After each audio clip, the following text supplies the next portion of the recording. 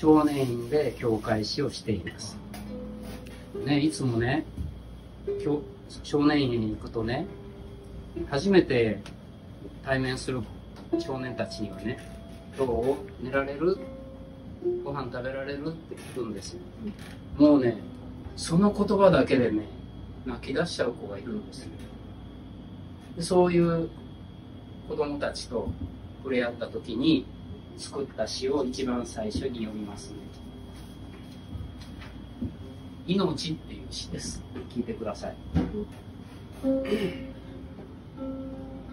命。眠れずに寝返りを打つ深夜。月の光が窓から差し込みます。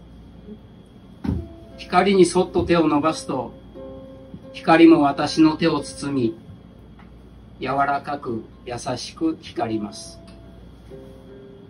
目を閉じれば、遥か遠く、夜の帳が街の音を包み、懐かしく心に響きます。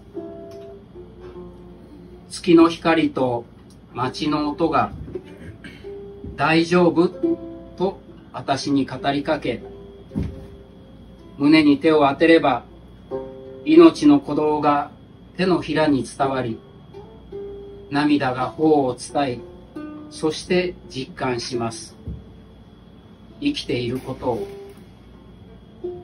月の光、遠き町の音、鼓動と涙、すべてが確かな私の命。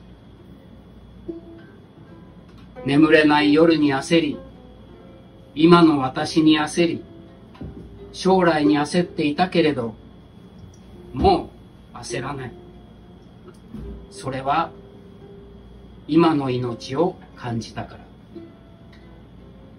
胸に置いた両手をそっと合わせます。ありがとうございます、この命。ありがとう、月の光、街の音。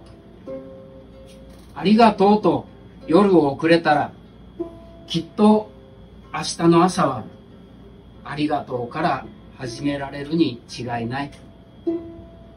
だから、私はもう焦らない。命にありがとうと言えるから。ありがとうございます。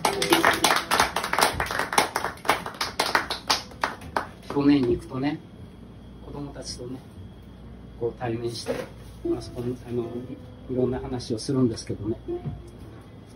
こう命の話をするとねみんなが泣き出します大事にしようねって言ってねお話をします。